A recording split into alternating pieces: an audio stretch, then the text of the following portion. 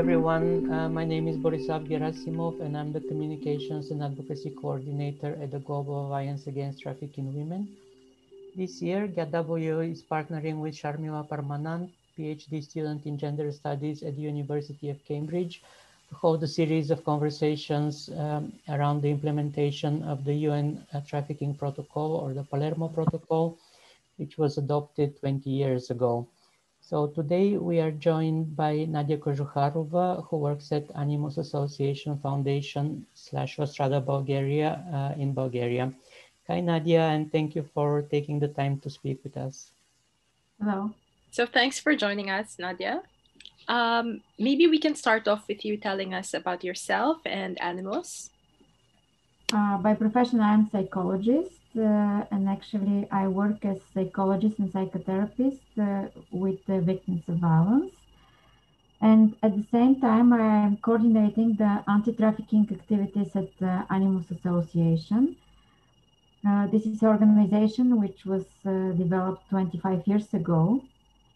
Uh, and I think my entire professional life is happening here since I am from the almost the very beginning uh, uh, of the organization. And um, I think very soon after we developed our organization, uh, we somehow was um, we, we met the issue of trafficking in human beings and we started to work also in this field.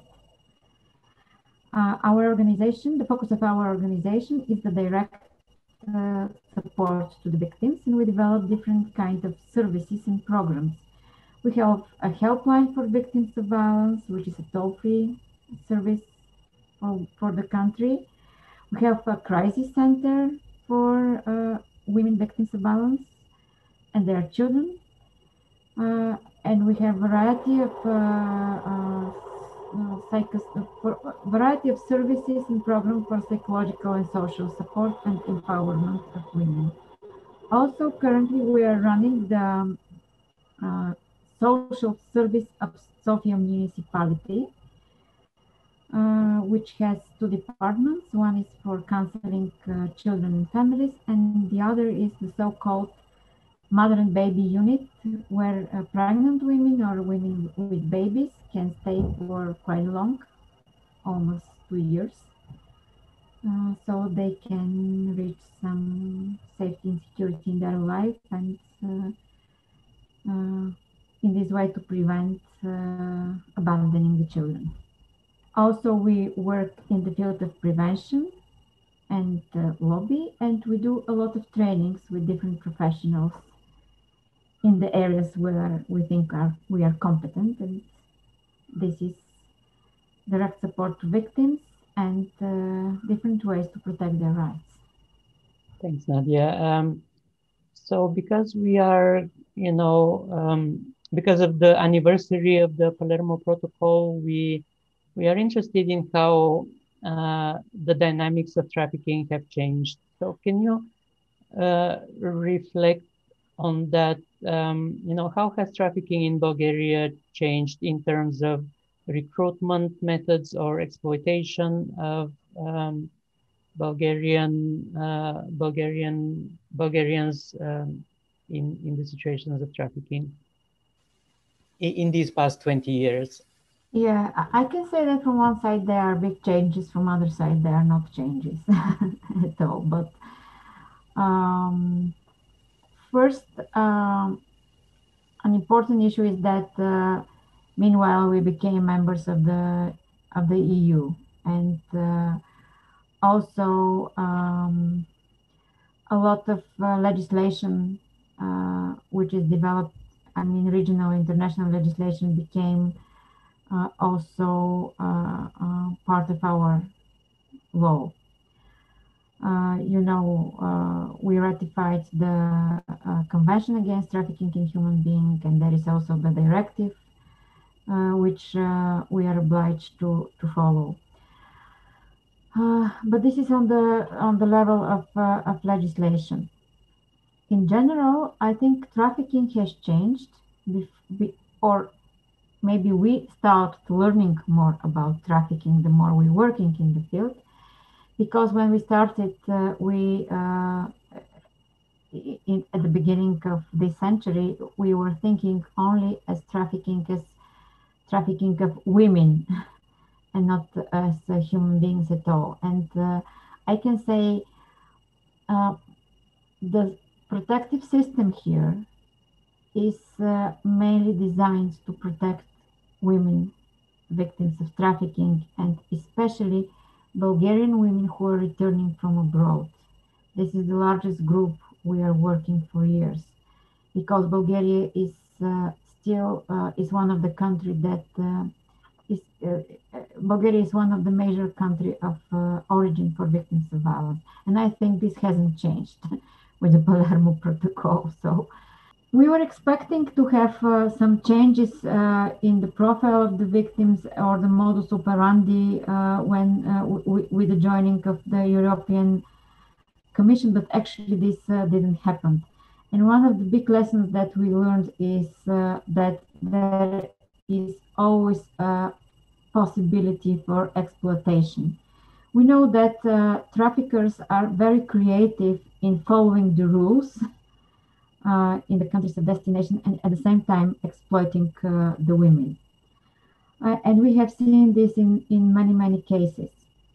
From the point of view of the victims, I can say that not a lot has been changed. Uh, people are traveling abroad and they fall into the trap of trafficking in many different ways because uh, not uh, convention or protocol or directive will change uh, the picture the, uh, of trafficking, but basically uh, change in the uh, things that are causing trafficking. And I can say in this regard, nothing has, or there are not big changes here in Bulgaria, because, or even I can say that in some regards, uh, the situation is uh, even worsened because um, Bulgaria is still uh, the uh, poorest country in Europe. there is a huge labor migration from Bulgaria year after year, and this can't be stopped in no way. Uh, we were expecting serious investments uh, with joining uh, EU and creation of uh, new factory, new working places uh, in our country. Actually, this didn't happen. On the opposite, even more people are traveling abroad now because it's easier for them to do it because there is no visa, they have the right to live and work everywhere in Europe. Uh, our expectations that easy traveling will create less dependency from traffickers actually didn't happen.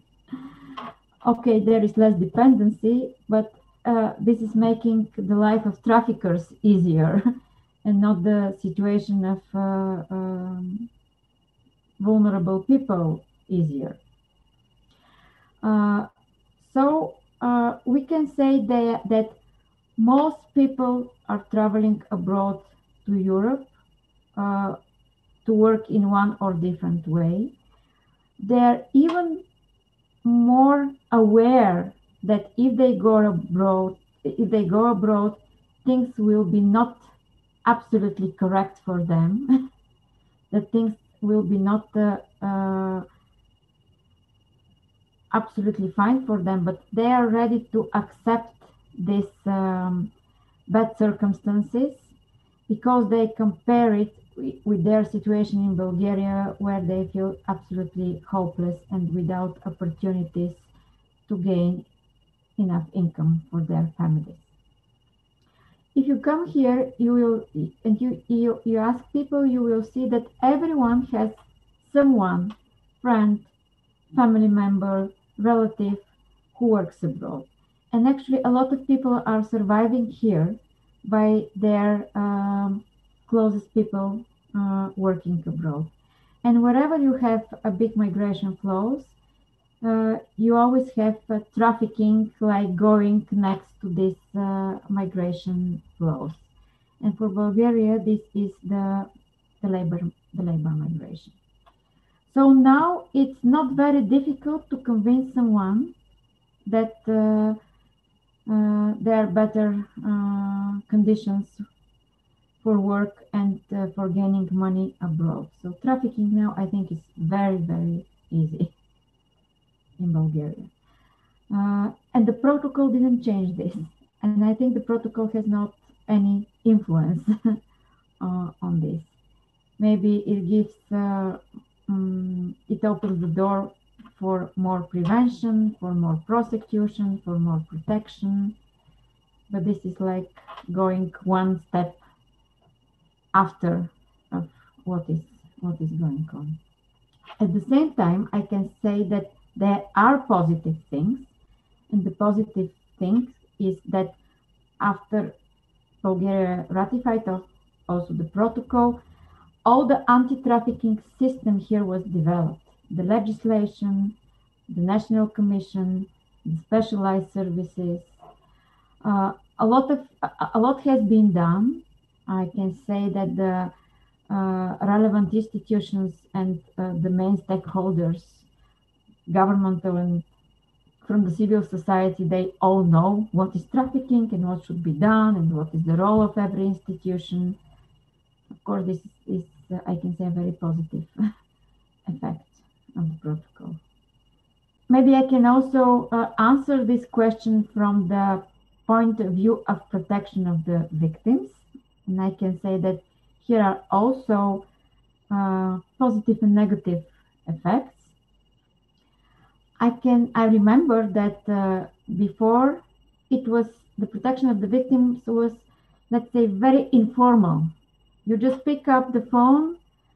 Uh, our colleagues from Poland, Netherlands, or Germany are picking the phone and they are telling us we have a Bulgarian victim and she will be on the airport with this and this flight on this and this date. And we just went to the airport, meet the girl, and start working with her. And yeah, it was not easy to convince uh, different institutions and organizations that she is a victim and she, she needs support. This is true. But now I can say the protection of the victim is getting more and more formalized. and this is not always good. I can see that um, less victims are reaching us. uh, it is we we are now part of a more complicated network uh, in which a lot of institutions are involved institutions in the country of destination our institutions and this creates more administrative work and uh, you have to follow to follow different rules, different criteria, and I'm afraid that sometimes the victims are, we're losing sometimes the victims. Uh, most of the victims now go through the governmental structures uh, and they go through the um, services that are created by the government. And again, from one side, this is good because uh, more or less uh, animus model, animus way of thinking was transferred to the government uh, because we are the creator of the national referral mechanism that now the government is um, the state is uh, coordinating with the through the National Commission for Combating Trafficking in Human Beings. So more or less, we what we have created is transferred to the state and the state is now more responsible for the protection of the victim. But now we have less control what is happening actually there, whether the rights of the victims are fully uh, respected, whether the services are working well. So we have less victims. We know now less what is happening with those who are returning. I want to go back, Nadia, to something uh, you said a few minutes ago.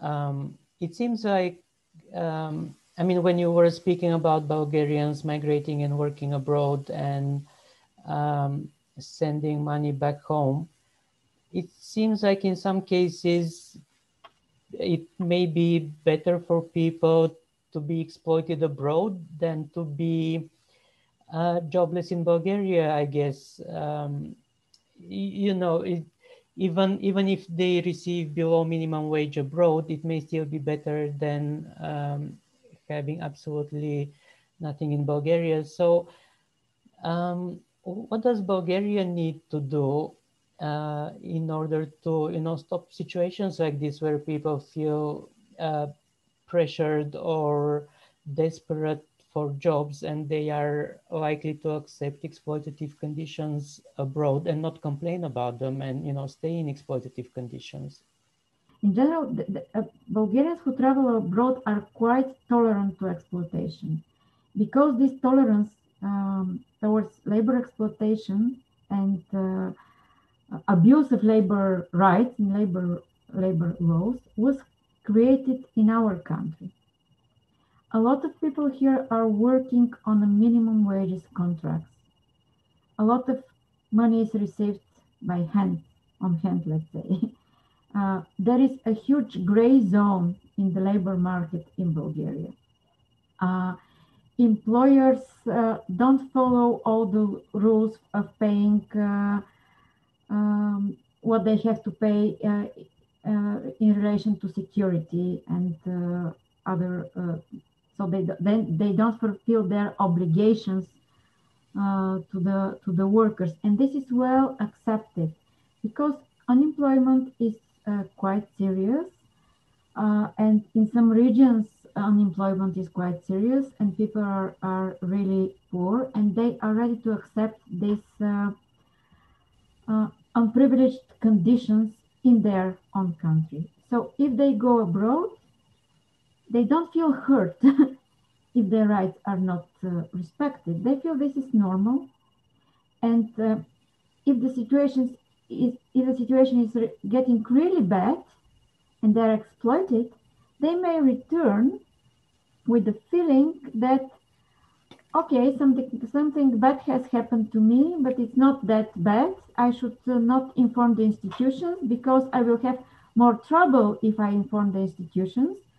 Uh, they don't believe in court, in justice. They don't believe that uh, uh, uh they will be really protected. Uh, they know that here corruption is very serious, and they can't find fight this. So uh, they prefer to recover here and try their chance again with the illusion that this time they have more experience and more knowledge and uh, maybe next time it will work better for them than the first time so uh, there i think there is a huge labor exploitation of bulgarians abroad even exploitation that could be named trafficking but people are uh, tolerating okay it. with this. Yeah. Okay, they, they can endure it. they can live with it. Mm. So you mentioned that there's a big uh, labor migrant community, right? And that sometimes um, people take advantage of their poverty, yeah, and um, that technically there are enough legal loopholes that sometimes these cases don't always meet the bar of trafficking, but sometimes they do. Mm-hmm. So, what do you think, you know, from your perspective, what do you think are the obligations then of the receiving countries here, right? What can they do better um, to protect these these migrants or to meet their end of the bargain?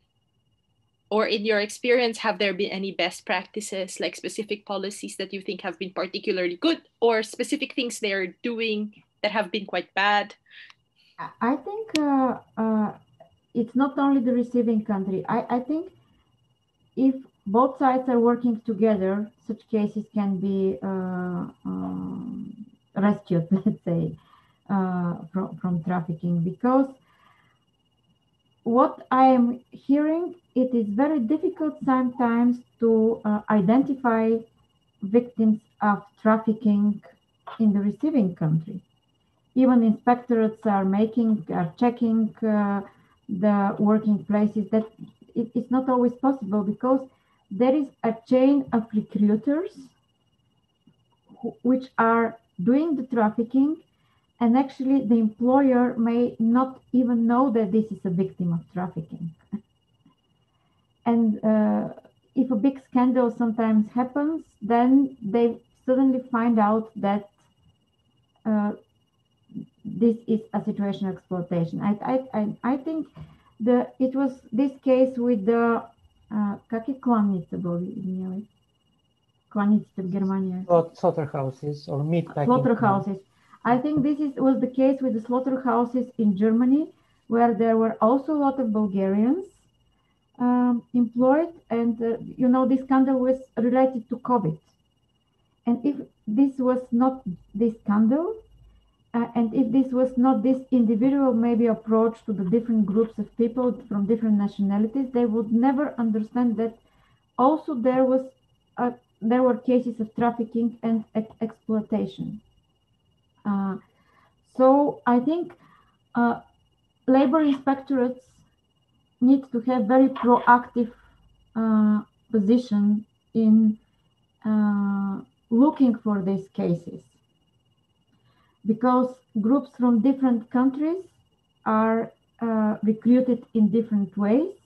And maybe if you have uh, Polish people in a slaughterhouse like this that are not exploited, maybe the Romanians and the Bulgarians are exploited.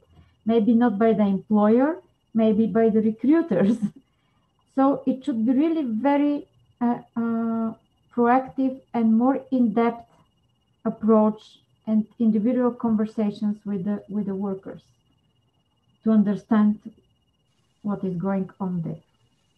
The same with sexual exploitation, um, because legislation in different countries is different. And I, I, can tell you a very interesting case that we had with Switzerland, because in Switzerland, exploitation and trafficking is when the pimp is taking more than 50 percentage of the income of the sex worker.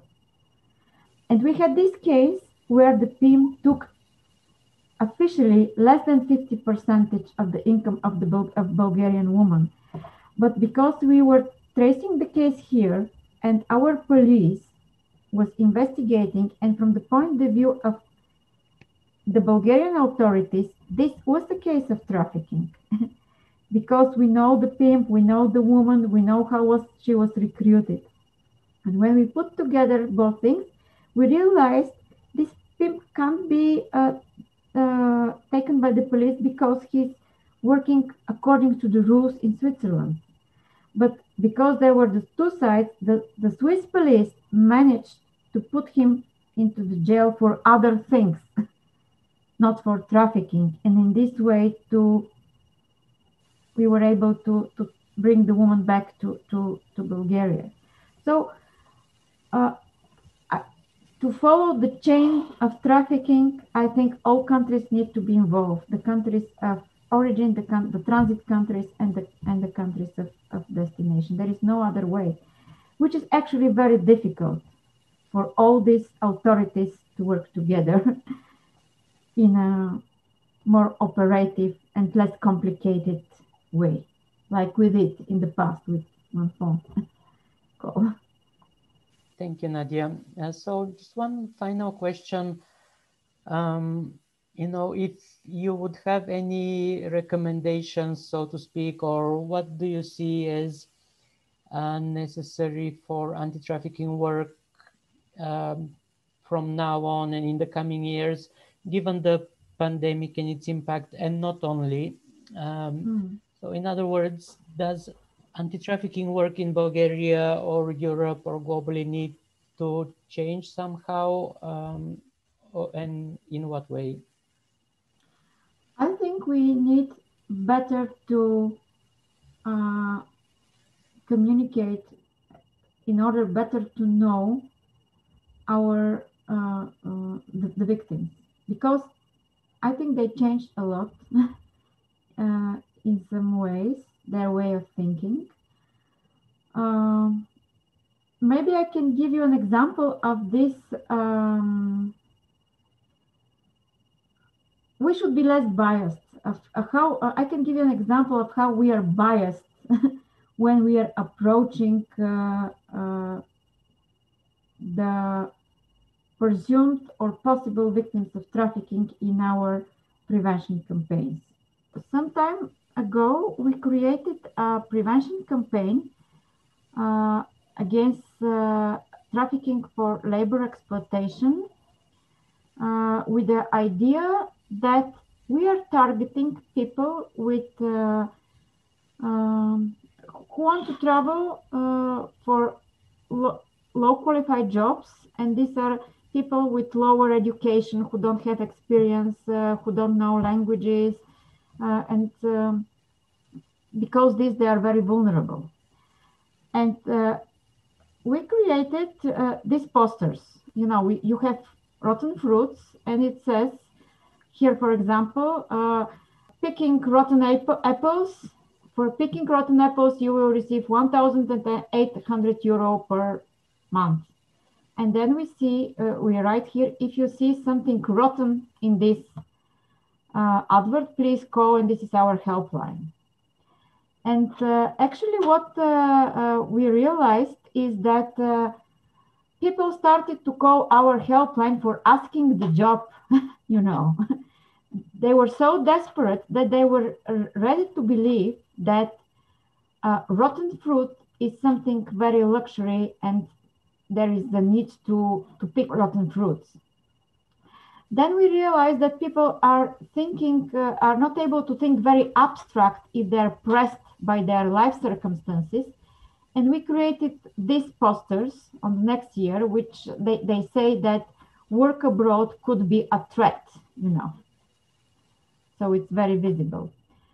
But uh, then we learned that our target group actually don't read posters uh, and billboards, but they prefer uh, internet. So we had uh, these um, uh, banners in different websites, and the visit, uh, the, the clicks on the banners were really very a lot, very intensive.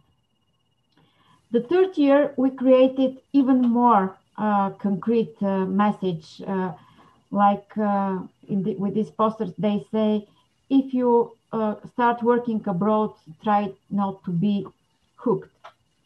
But what was our biggest lesson is when we created this uh, false advert, which says, we, we created a very um, really false advert with false company, this Casper and Janssen company, which is false. And they say that one can get 130 euro per day if you pick green caviar. And in Bulgarian, to pick green caviar means that you are deceived for something. And uh, this advert was in the internet, in Facebook. We had a, a false uh, profile false uh, of, of this Facebook profile of this Casper and Janssen company.